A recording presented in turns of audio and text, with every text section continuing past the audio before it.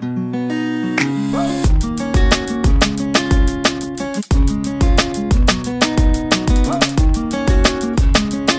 importancia de mantener a nuestros clientes fieles y leales a nuestra empresa se debe fundamentalmente a que cada uno de ellos represente el ingreso económico que debemos nosotros sostener para nuestro presupuesto. Pero ¿por qué se pierden los clientes?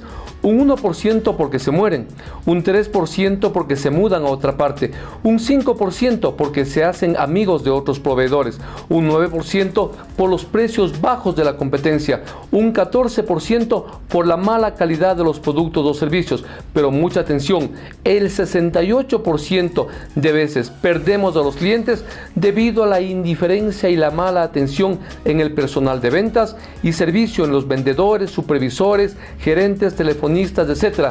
¿Qué hacer? Ante una reducción de los clientes, en primer lugar, aprenda a saludar cada vez que el cliente ingresa a su local. Emítale una agradable sonrisa. Se dice técnicamente que el 34% de las ventas se encuentran aseguradas cuando usted sonríe a su cliente.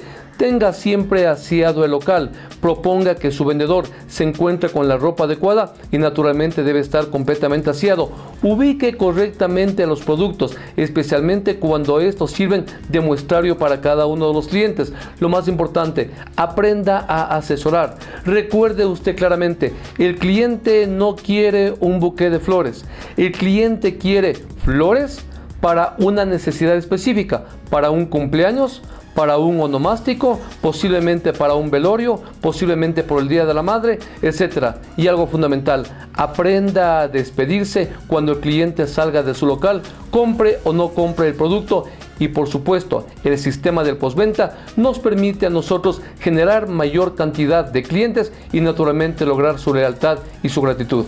Gracias por su atención.